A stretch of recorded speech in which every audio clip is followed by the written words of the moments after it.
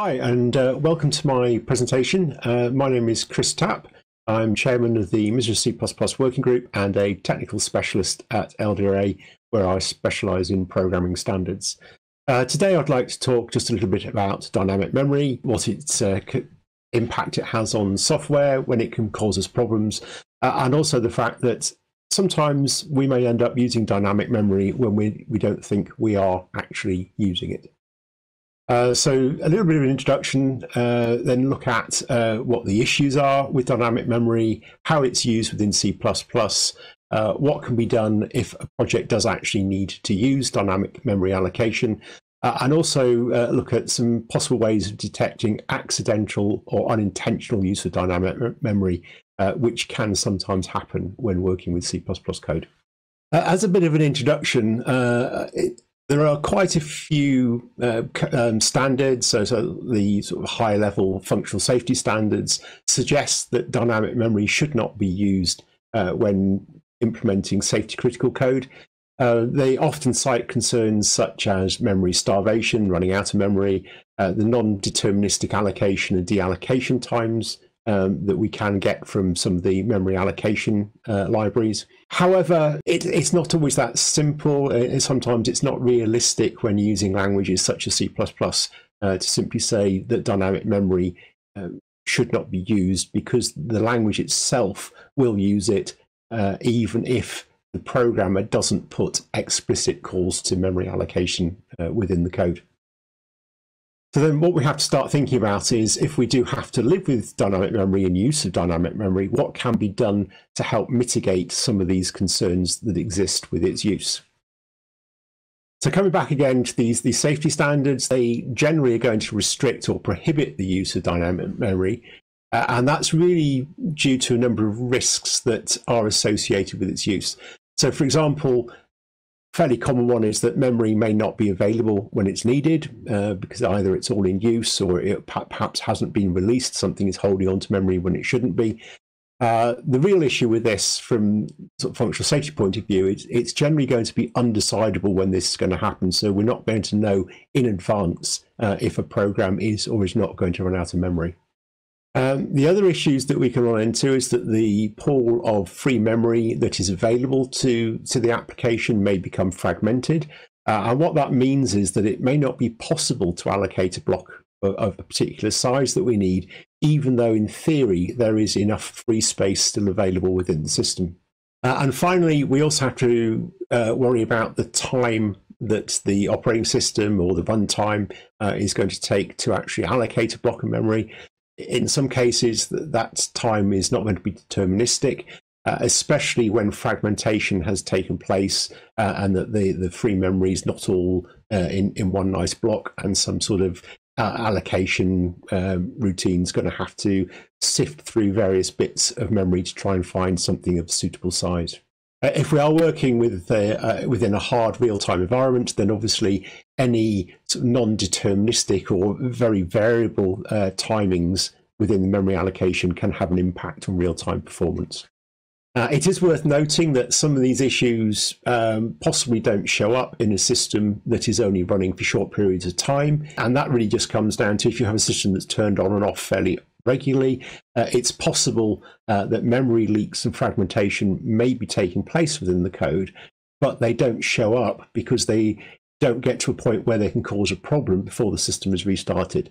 An example of that uh, would be maybe a car, uh, which is often only going to be used for a few hours at a time before the engine is switched off, uh, and then the car is restarted next time it's used. So, looking at uh, out of memory issues, um, as I said, it's generally not going to be possible to predict when an out of memory event is going to occur. Uh, and what that means is it can make it very difficult to reason that there is going to be enough memory available under all the operating conditions that we have in the system. Uh, and there are two uh, sort of main scenarios where this can happen. In one case, it, we may be able to prove that there is going to be enough memory, even if memory is never deallocated. Uh, and what that means is if we're not deallocating memory, we don't have to worry about um, allocation failures because we are sure there's always going to be enough memory. We don't have to worry about dangling pointers or double frees uh, where any deallocation may not be done appropriately because we're not going to have any uh, deallocation within the code. It's also possible that there will be insufficient memory if deallocation is not used at runtime. However, if we then do start freeing memory uh, as the system is running, it's likely to become non-trivial to prove that there will be enough memory, um, especially as fragmentation may occur. Um, so it, it, can become very difficult to start reasoning uh, about the memory footprint uh, at any particular instance in time when the system is operational. If we do need to have memory de deallocation, then we can start to think about how, how deallocation is going to be managed. Uh, it could possibly be done explicitly, so we will have explicit calls to free or, or delete uh, within the code. Um, if we do that, there, there is then a risk of uh, sort of premature release. Uh, in other words, we may have dangling pointers where something has freed a block of memory, but there is still some part of the code base that is expecting the pointers to be valid. Uh, we can also end up with memory leaks where we, we fail to release blocks of memory when they're no longer in use. Uh, and we can also start to run into uh, double free errors uh, where two bits of code attempts to release the same piece of memory at different times. Uh, we can also manage deallocation through the use of something like smart pointers, uh, and within C++, that, that's considered to be best practice. A lot of these risks uh, are not likely to be present in the code uh, because the, the operating system, through the smart pointers that language provides, are going to take care of making sure that there are no double frees, that there are no memory leaks, and what have you. It is still possible to have errors in the code, but it, it is much more difficult if smart pointers are used appropriately, uh, especially when um, you start making sure that ownership of pointers uh, is handled within those smart pointers, so you can have unique pointers or shared pointers. There are, however, some code and runtime costs associated with the use of smart pointers, uh, and obviously that, that also needs to be taken into consideration. The real problem uh, that we have is this lack of predictability when memory is potentially going to run out in the system. Uh, and that does make it hard to design appropriate out of memory fallback behavior within the code base uh, because we don't know if we're going to have enough for, say, one object or a thousand objects. Uh, it, it, becomes much more difficult to try and design suitable fallback behavior. So, looking at uh, memory fragmentation, um, this is this really uh, manifests itself as as increasing the probability of, of out of memory events occurring, and really that's because it's possible that any of the free blocks that exist within the fragmented memory pool uh, may be too small to satisfy a request, even though in theory there is more than enough memory uh, to to satisfy the request. Uh, it can also have a negative impact on allocation and deallocation times, uh, as it does take longer to search the free list uh, and, and, possibly uh, an in use list um, to see if the discarded blocks are available for or can be reused. Uh, fragmentation is a real concern for systems that are intended to run for long periods of time uh, as it's likely that fragmentation within within the memory is going to become worse over time. Uh, and it's more likely you're going to get a situation where you may have very little memory actually allocated or committed within the application, uh, but that all the pieces that are available are too small to satisfy any requests that are needed later on. Typically when a system starts up you're going to have all the memory is going to be free.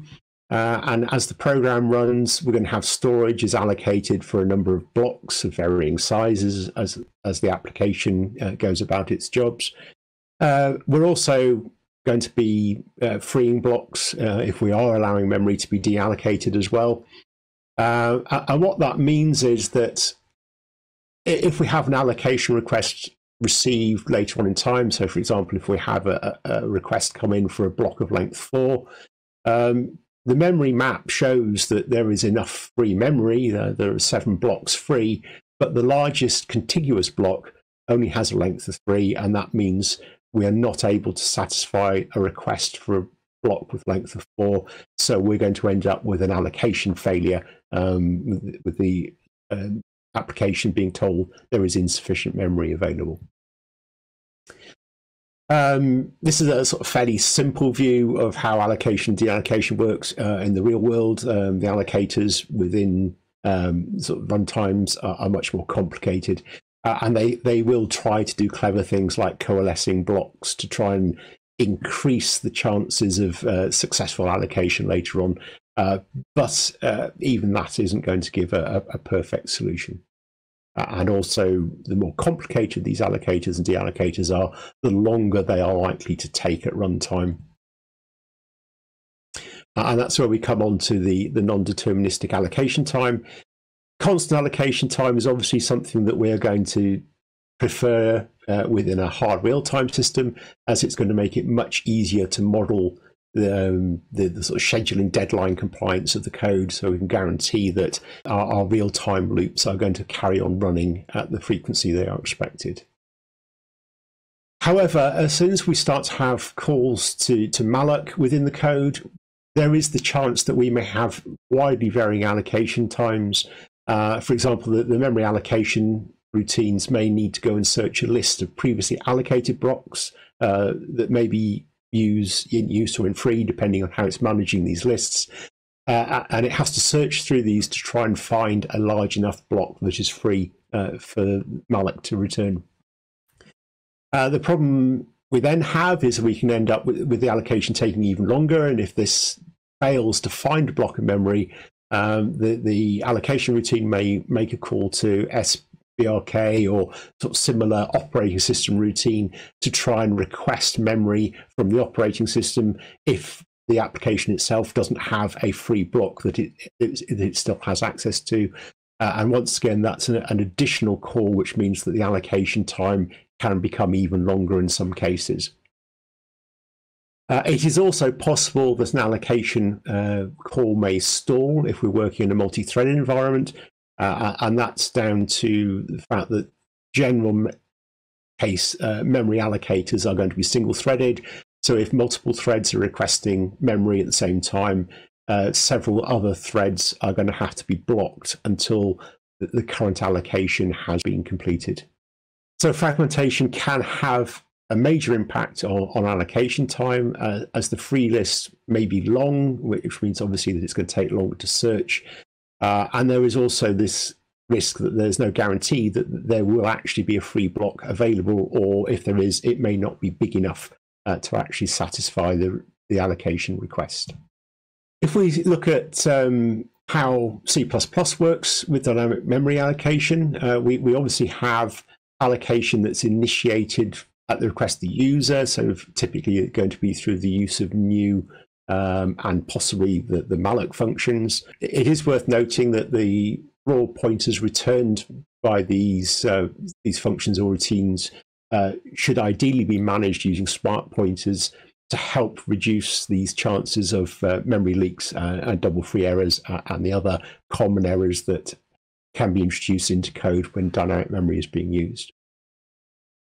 Uh, in terms of the, the language itself, uh, there is quite a lot of memory allocation within the standard template library in C++ that takes place uh, without any explicit interaction from the user.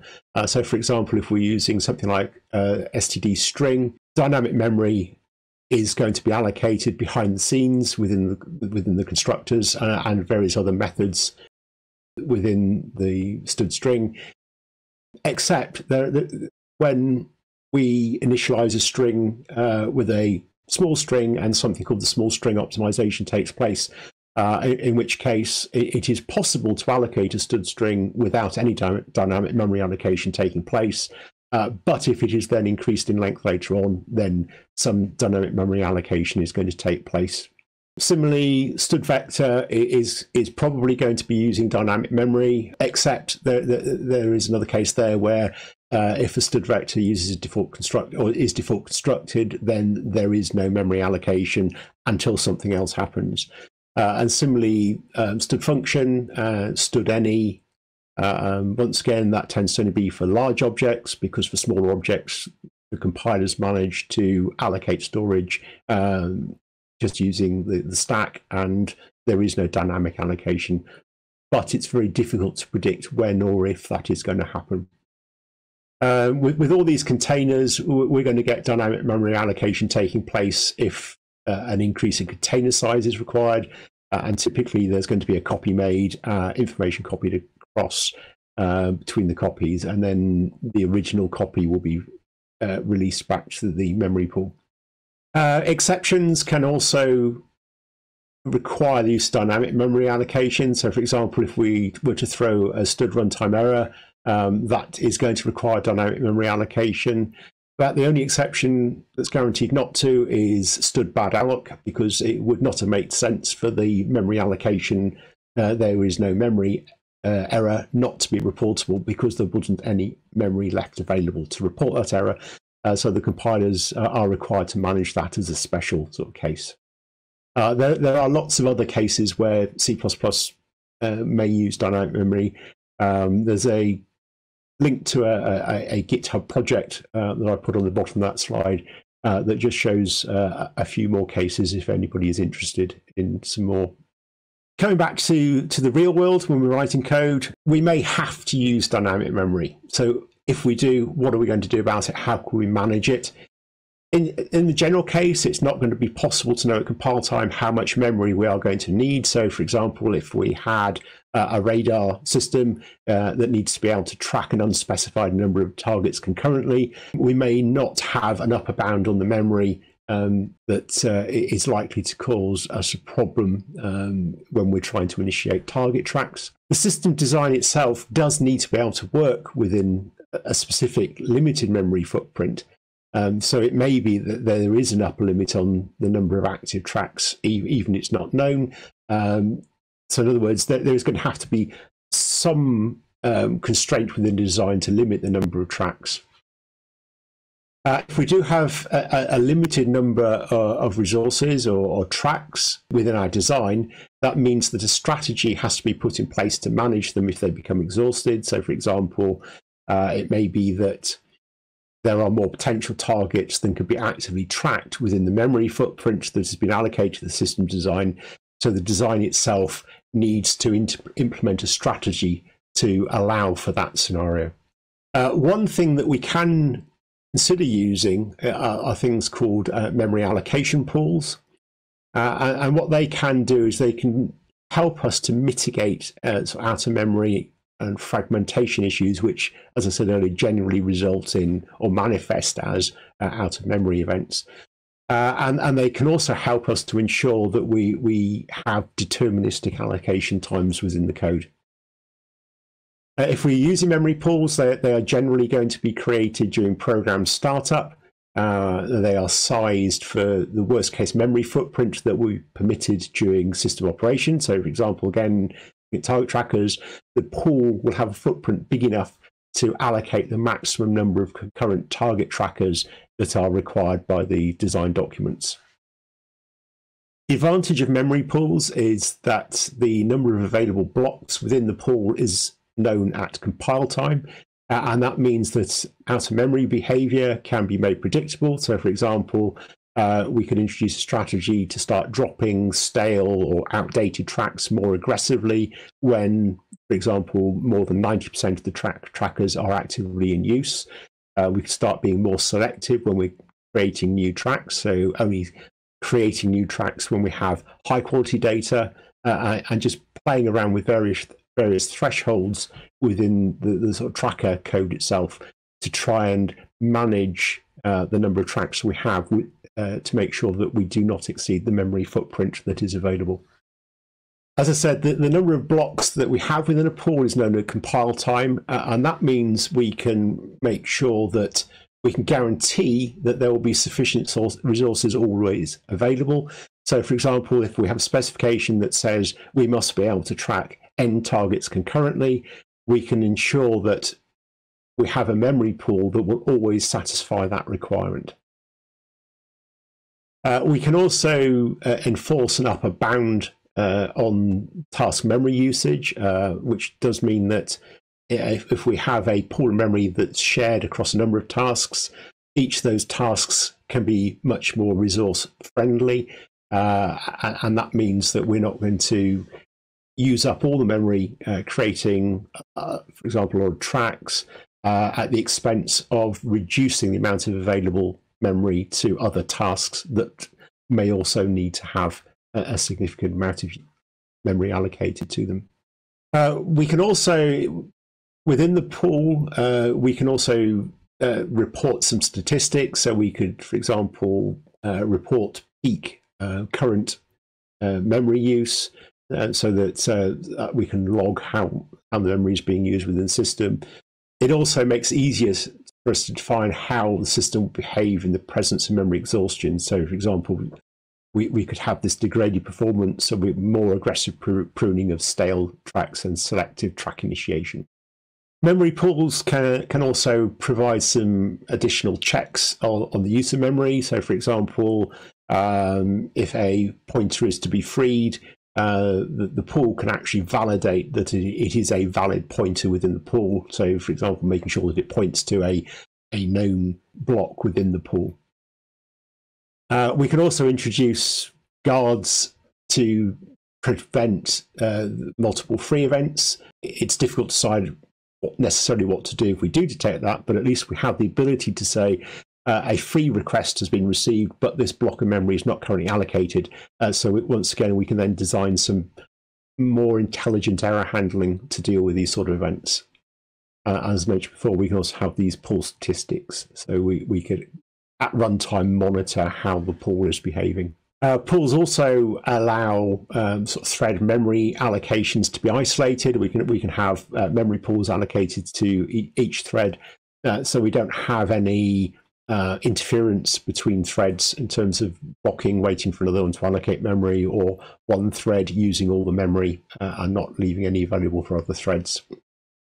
Uh, we can also consider using different types of pools. So, for example, we may have some pools for, for objects of the same size. So, so if we have a load of objects that have a size of less than 32 bytes, uh, we can use a single pool manager to deal with those, even if the objects are not necessarily the same type.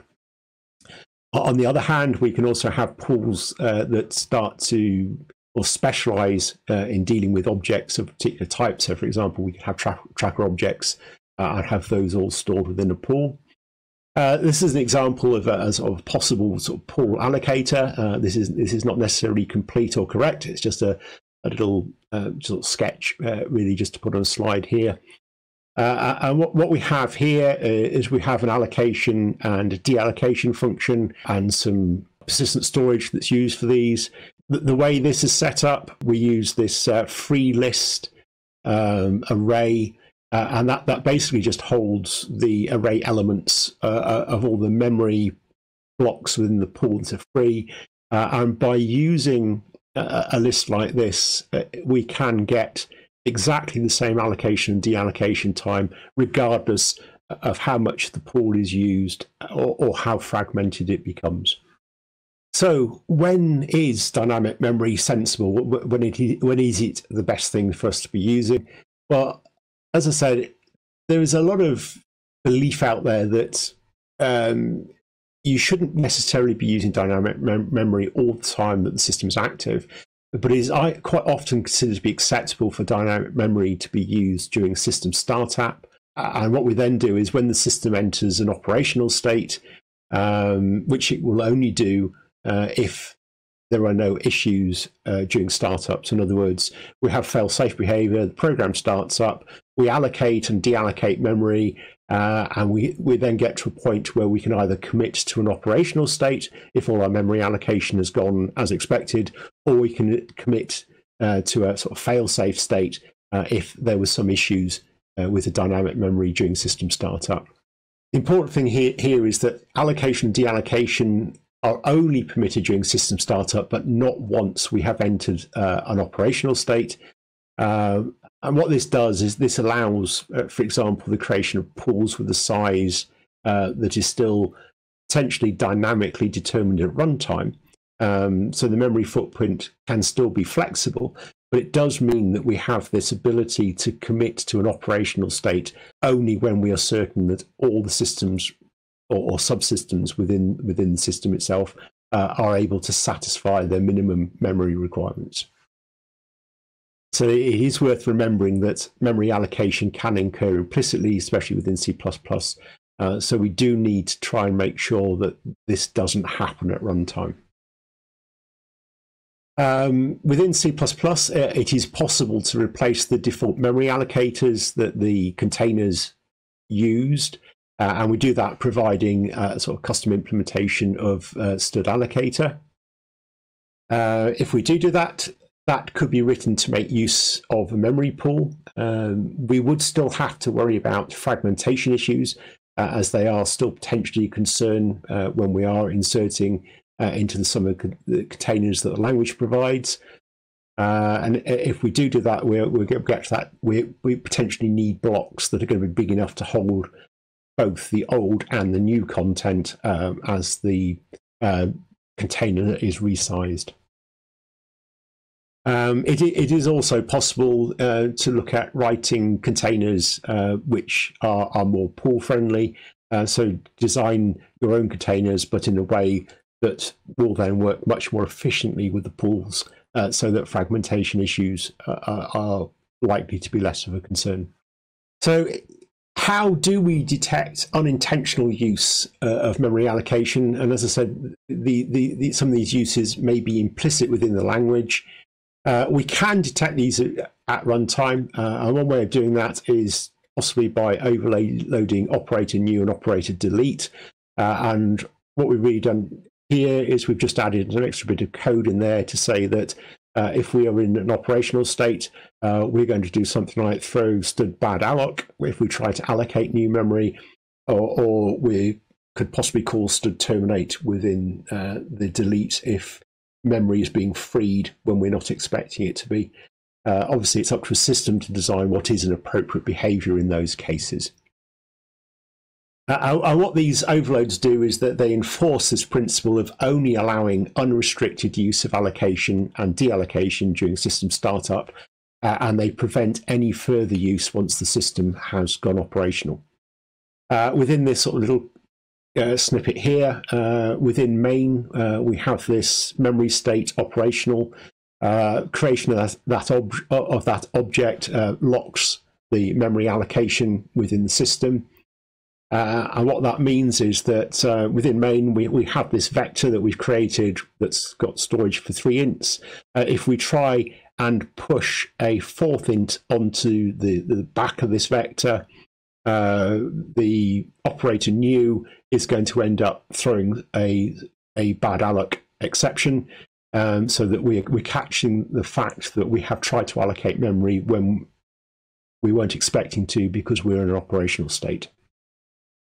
Um, th this is all relatively easy to live with uh, in terms of code because the deallocation is still going to work as expected, uh, and that's because this memory state object that we have uh, is a RAII object, uh, and it will be deleted uh, before any destructor calls are made. Uh, so that means that the operational state within the memory allocator, that restriction is lifted before the stack unwinding and, and object deallocation uh, starts to take place uh, within the language itself. So that means that the operator deletes are then going to work correctly uh, and not cause the program to terminate unexpectedly. Um, the, the, only slight restriction uh, with this sort of approach is that any exceptions that are used are going to have to be non-allocating. Um, otherwise, they, they are going to uh, potentially cause operator new to throw bad alloc if they occur when we are operational. So just a, a, few things to consider if we are using dynamic memory. Uh, firstly, is it going to be possible for us to fix the maximum memory uh, that's used at compile time or during the startup phase?